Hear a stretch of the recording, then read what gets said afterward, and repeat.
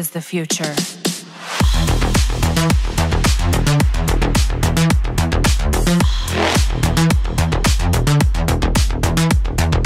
Evolution.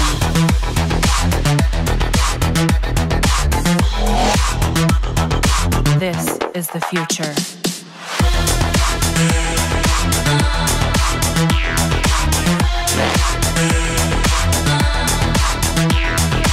Evolution.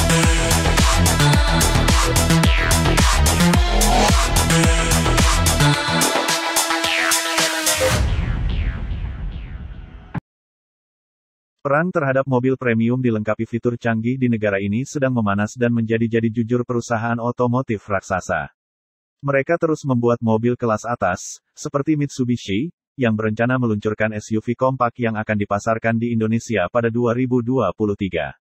Dikabarkan pabrikan Jepang Mitsubishi Motors akan meluncurkan Baby Pajero Sport atau konsep Mitsubishi XFC di tahun 2023. Mobil ini akan bersaing dengan mobil kompak di pasar SUV, di mana tentunya ada air untuk kompetitor yang siap bersaing. Seperti Hyundai Creta dan Honda HR-V. Bagaimana tampilan mobilnya? Yuk simak ulasan selanjutnya.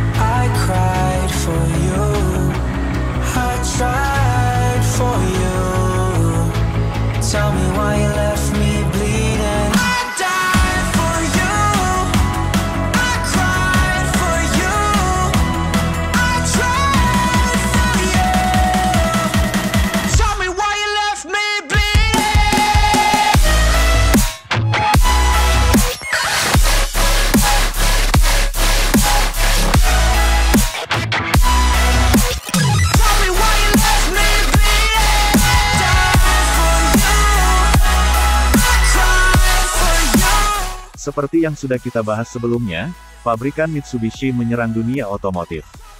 YouTube Royal Automakers Insulting melaporkan pada tanggal 30 Oktober tahun 2022 bahwa Mitsubishi telah meluncurkan Mitsubishi XFC, mobil konsep terbarunya.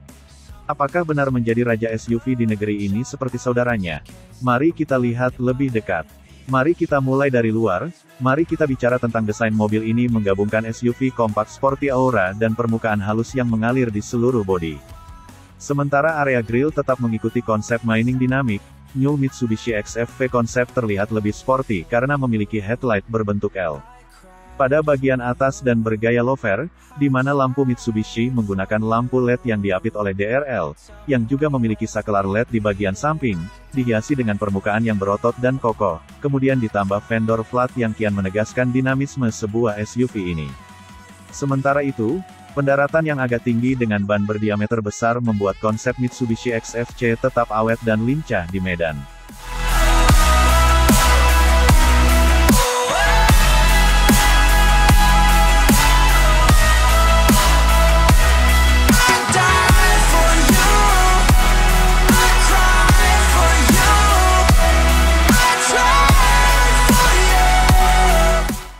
Desain bagian belakang terlihat seperti bagian depan yang terlihat modern dengan lampu C design yang memberikan kesan interior yang stabil dan lapang.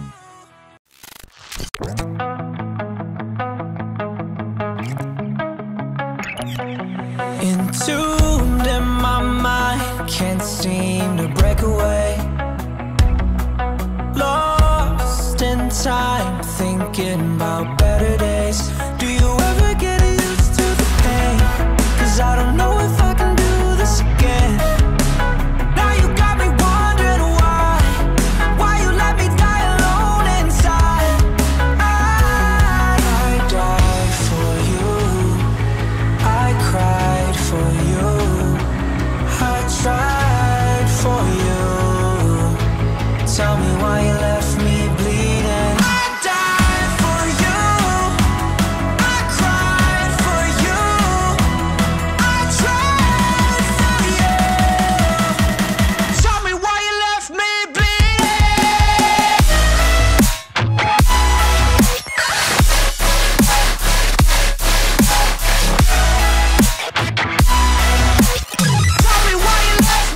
Memasuki interior, Mitsubishi SFC konsep menawarkan kemudahan penggunaan dan kenyamanan yang sangat penting bagi sebuah SUV dengan tema horizontal pada dashboard speedometer. Memfasilitasi perubahan posisi kendaraan saat berkendara di permukaan yang tidak rata. Unit besar yang sepenuhnya digital yang terlihat seperti terintegrasi ke dalam head unit inilah yang membuat kabin gas Mitsubishi begitu modern.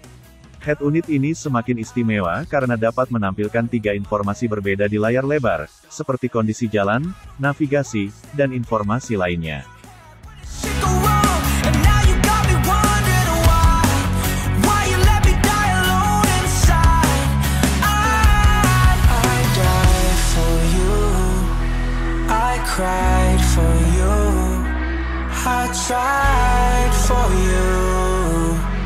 Tell me why you me bleeding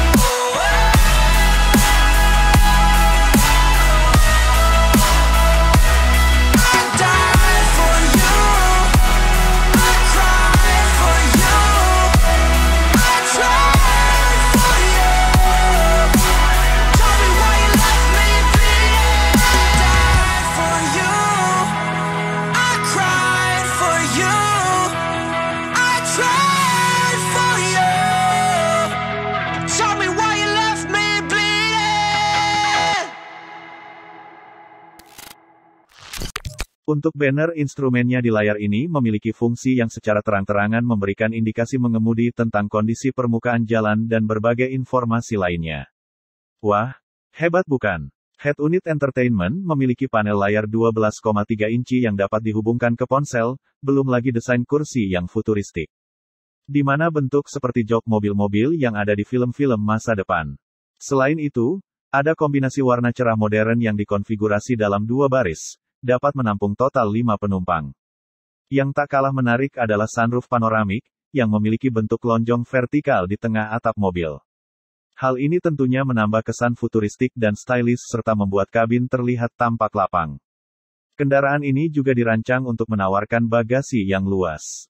Mitsubishi mengklaim mobil ini menawarkan kenyamanan interior terbaik di kelasnya, terutama berkat ruang kepala yang lega di barisan belakang. Selain itu, mesin Mitsubishi belum terungkap. Wah sayang sekali, kita hanya bisa menebak-nebak, melihat kompetitor seperti Daihatsu Rocky dan kembaran Toyota Rush rival yang menggunakan dua pilihan mesin, turbo 1000 cm3 atau 1200 cm3. Kalau bicara mesin 1200 cm3, sebenarnya Mitsubishi sudah memilikinya dan meraj menggunakannya, jadi itu sangat mungkin untuk XFC. Namun pada produksi massal Mitsubishi bisa menggunakan pengembangan mesin baru yakni turbo 1000 cm3, kemungkinan lain XFV juga bisa mengusung mesin expander 1500. Kalau begitu, Honda HR-V dan Hyundai Creta juga harus mewaspadai SUV kompak Mitsubishi ini. XFC dibekali empat mode yakni normal wet driver dan mute alhasil lajunya bisa disesuaikan dengan kondisi jalan yang dilalui jadi lebih safety kalau mode ini benar-benar diterapkan bakal lebih gokil. is the future.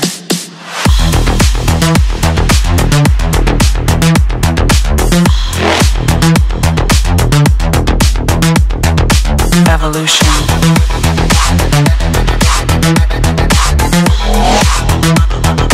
This is the future.